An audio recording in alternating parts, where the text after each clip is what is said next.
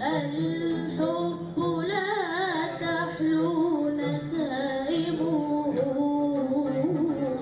إلا إذا غنى الهوى ليلا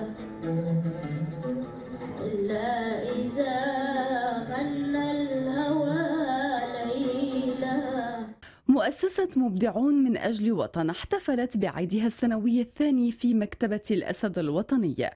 الحفل تضمن عرض فيلم صغير عن نشاطات المؤسسة وذلك ضمن احتفالية ثقافية موسيقية شعرية غنائية. مؤسسة لرعاية الإبداع والتميز العلمي والثقافي والفني.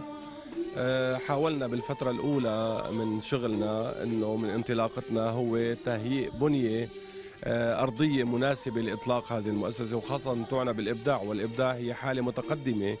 يعني صعب نبدأ فيها مباشرة. دائما يسأل أنه وين المشاريع؟ المشاريع لا المشروع الإبداعي لا يمكن أن يم- يبدأ أه، من لا شيء. يجب أن نحقق بنية أساسية. لذلك قمنا بالعديد من الاتفاقيات الرسمية مع آه، الحكومة مع من خلال وزارات آه، وخلال جهات خاصة. لنهيئ بنية تحتية أساسية لإطلاق مشاريعنا ومن خلال هذا الموضوع تم آه، أيضا آه، تشكيل فريق عمل متكامل آه، من كل النخب العلمية والثقافية والتربوية وال- والفنية والإعلامية والاقتصادية أيضا حتى تكون هي عبارة عن فريق متكامل. هذا الفريق المتكامل يقود عربة الإبداع. مهتم بالحالات الإبداعية العلمية.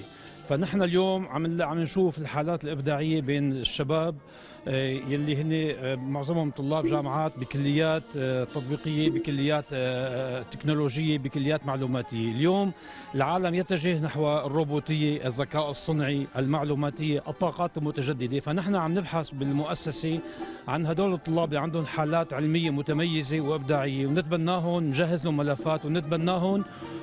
ونوصلوا لمرحلة إنه مشروعهم يتحقق ويكبر.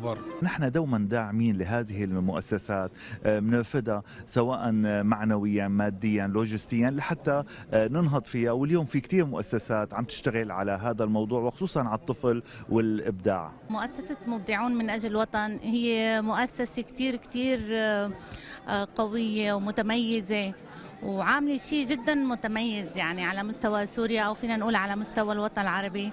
عم تدعم المتميزين عم تدعم المبدعين. مبدعون من أجل وطن.